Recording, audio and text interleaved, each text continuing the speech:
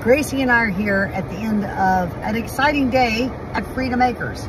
So, uh, today, and yes, I am sitting in the truck because I have been in 82 degree Florida springtime and uh, it was time to chill out for a moment. So, um, I got about four hours worth of work done today on the pine trees.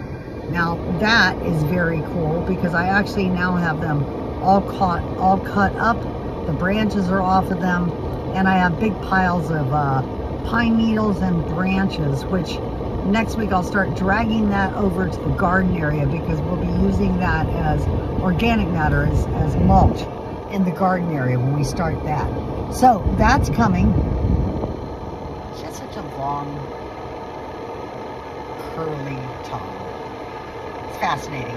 Anyhow, the good news is that the concrete guy has started his work.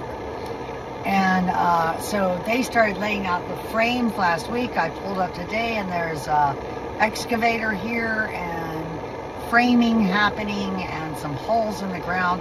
And his promise is that he will finish that up next week.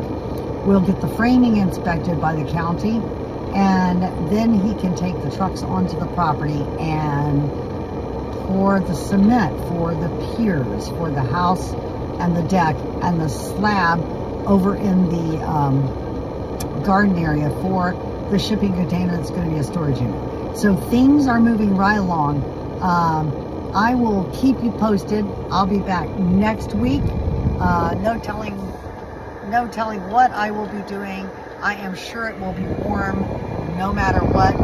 And um, we're just going to keep plugging along here. I think we're about four to six weeks out at this point in time. So, woohoo! It is happening at Freedom Acres.